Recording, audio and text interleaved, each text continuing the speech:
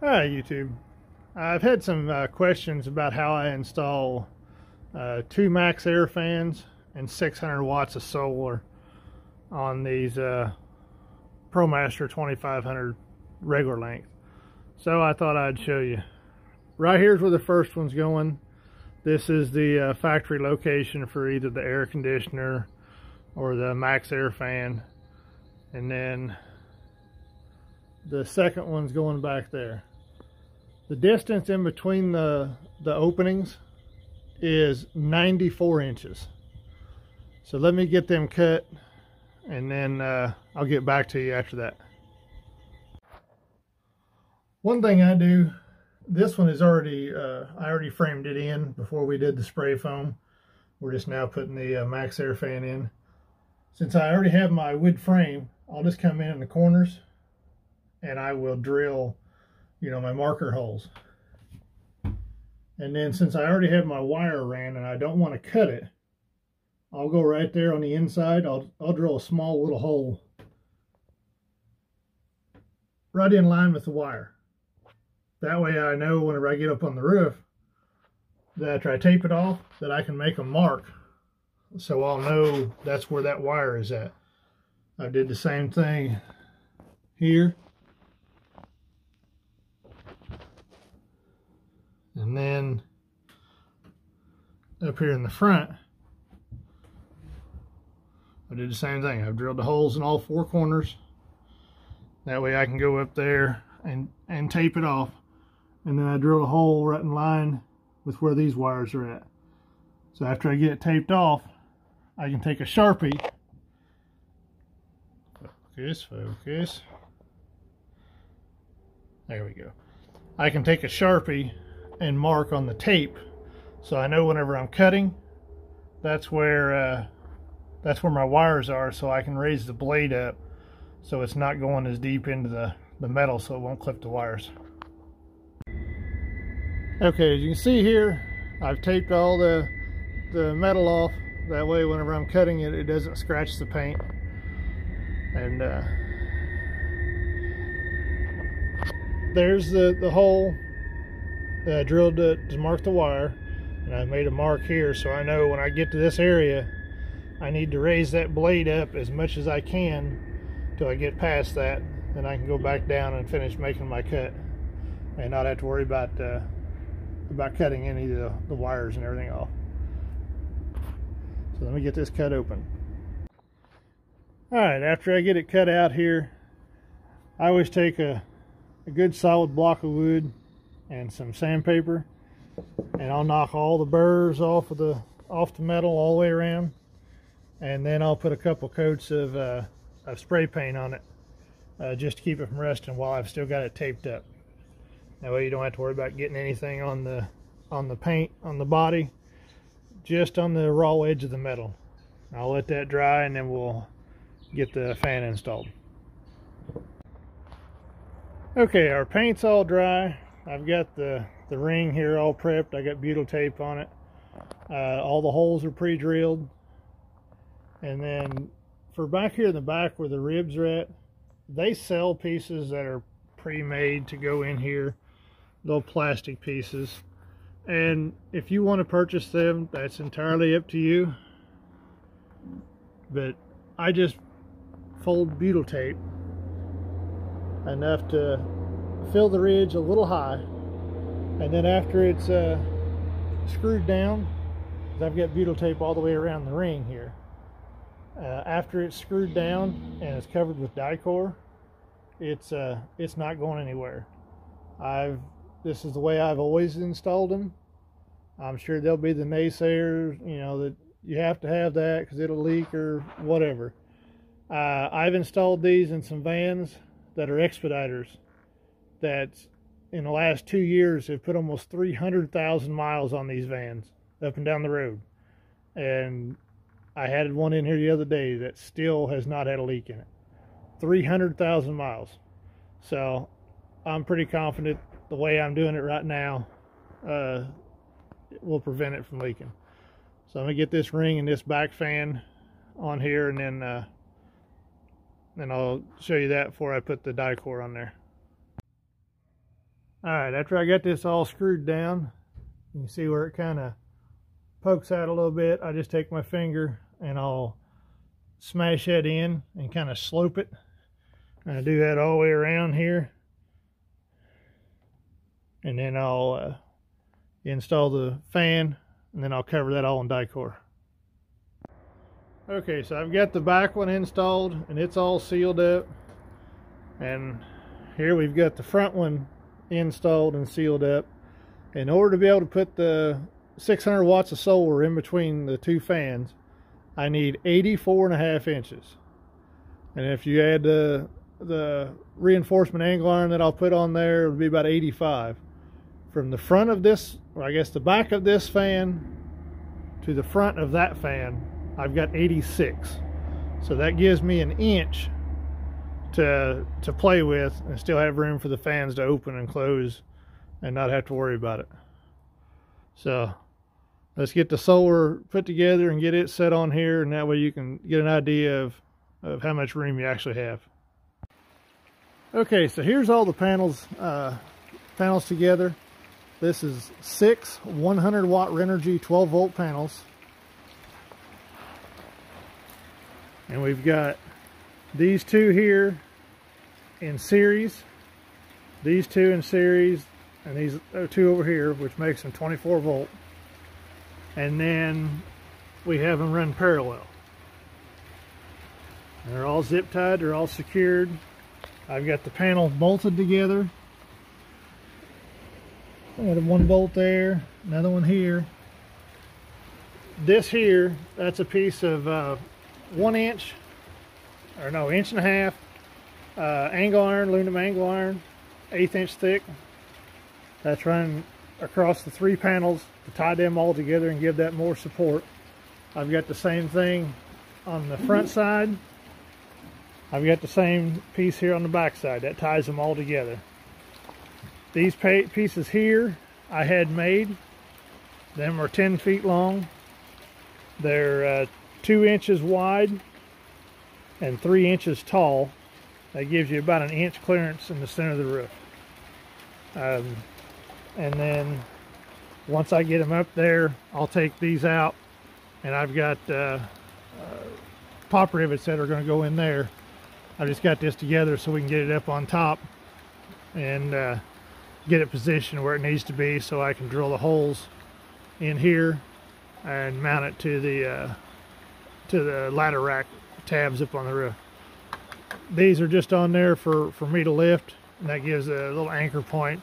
I found that a lot of people that uh, that use this, they want to be able to fasten a tarp or something to the side so they can use like a carabiner and fasten right here and hang a tarp off the side of it if they need to.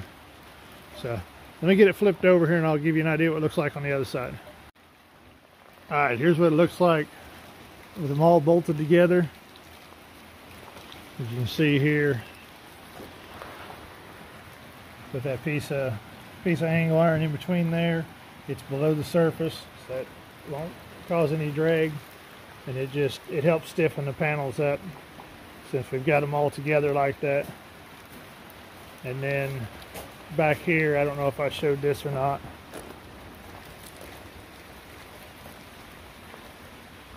That is a 15 amp solar panel fuse.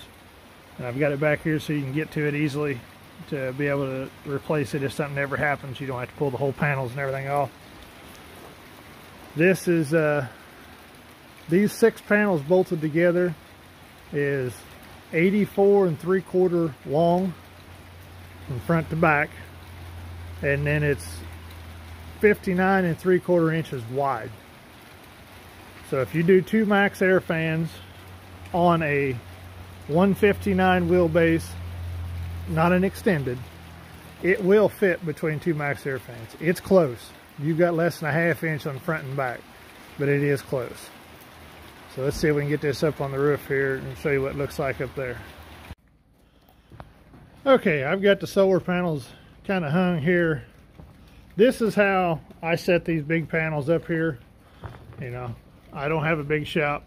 It's just uh, kind of a carport area where I work at outside. So I've got a uh, thousand pound winch up here in my rafters. This electric winch.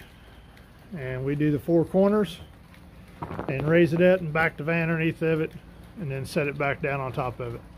It works out pretty good. All right, I'm here making the the brackets to mount the solar panels to the roof of the ProMaster using the uh, ladder rack tabs. They sell these for like $40 a piece. And to me, that's ridiculous. So I've got a piece of uh, eighth inch, inch and a quarter square tubing. I ran it through my table saw with a 80 tooth carbide tip blade and uh, cut the center out of it. That gives me a full inch and a quarter on the inside space. This is uh, aluminum angle iron that was uh, one inch by one inch by eighth. I ran it through the saw and cut it down to uh, seven eighths by seven eighths. And then I've made this little jig here. Just a piece of two by four and a couple pieces of scrap plywood. And all I have to do is take the piece of angle iron that I've got, put it right in here, run it through, and then I've got it set up here with a uh, quarter inch spiral uh, bit on my uh, router, run it through, and it makes that nice little slot right there that will slide right underneath of the uh, the little tab up on the roof. So you slide that. I've still got to put two holes in here and two holes in this tubing. But that'll slide under the tab. Then you put this over top of it with the two bolts sticking out here. That way it pinches it. This part will rest against the roof. I do have uh, rubber strips that will go on here so it's not directly on the roof and then the solar panel L bracket will set directly on top of here. All of the aluminum to do all of these panels here uh, was less than $20. And I'll have about an hour making all of them. So to me, that's a lot more reasonable than paying $40 a piece for the, the ones that are pre-made and uh, it'll work just as good. Okay, here you can see I've got the uh, the solar panels all mounted.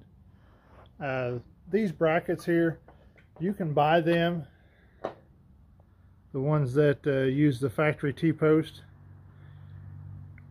You can buy them for like $26 each, but uh, I made my own. Uh, that's just a piece of uh, there it is. There's an inch and a quarter square tubing, eighth inch wall. I ran it through my table saw and I cut this bottom out of it. And then that's just a piece of uh, uh, the rubber that you put around your the edge of your doors on your on your car to keep them from uh, chipping paint and stuff up.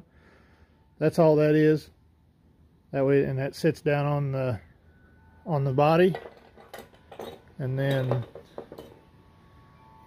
this piece here, that's just a piece of uh, one inch, eighth inch angle iron, aluminum angle. I made a little jig, and run my router with a spiral bit, cut the slot in it, that'll fit right underneath the, the T-post.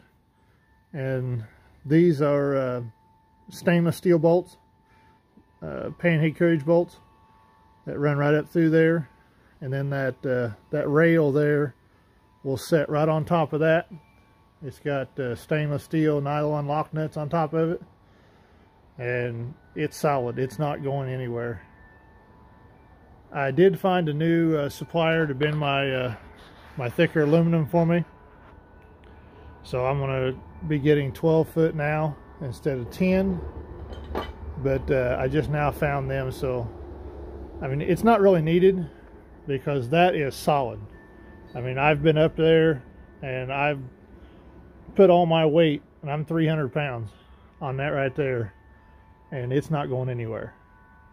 But I will be, uh, getting 12 footers to go all the way back here. So if you're doing it, you can go with uh, 12 foot. That is uh, two inch by four inch. If you're going to do this setup, it doesn't need to be four inches tall.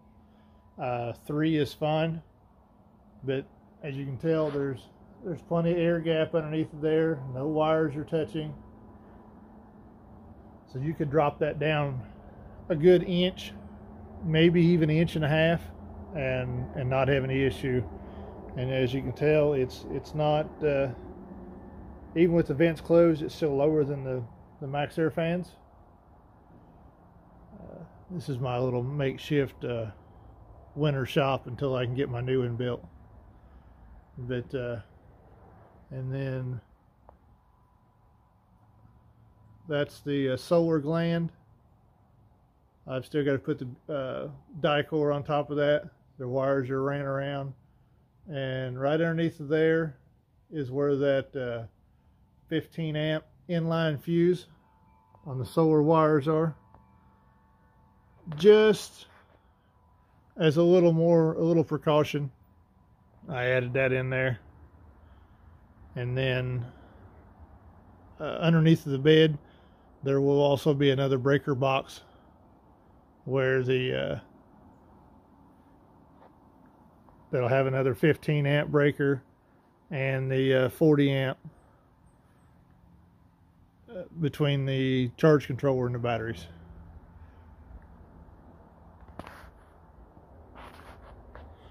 All right, I had to get down off the ladder there. It's getting a little shaky, but the uh, the wires run in. Right there's where the uh, the solar gland is, and it comes in right up here, runs in this channel, and then it runs down. Then it'll come in. Oops, sorry. Runs down here, and it'll go through this panel that's removable and then all the electrical will be right underneath here all the the inverter the batteries um, there's a board that runs across the back here and uh, that'll have the breaker box fuse box in it the charge controller will be on the outside and everything else will be underneath of the bed but getting closer to getting this one done. I do have uh, two more in line. So if you need any help on your build, either partial, full build out, or you know whatever diesel heaters. I've been installing a lot of them Chinese diesel heaters, and uh, they seem to be working pretty good so far. But if you need any help with that, feel free to uh, contact me either through my website, through my uh, Facebook page under Red's Custom Design, Instagram, here on YouTube. Uh, you can always email me at Red's Custom Design at Outlook.com. I am located in Taswell, Indiana. That's about an hour west of Louisville. Again, I thank you for watching and I appreciate every view I get. Thank you.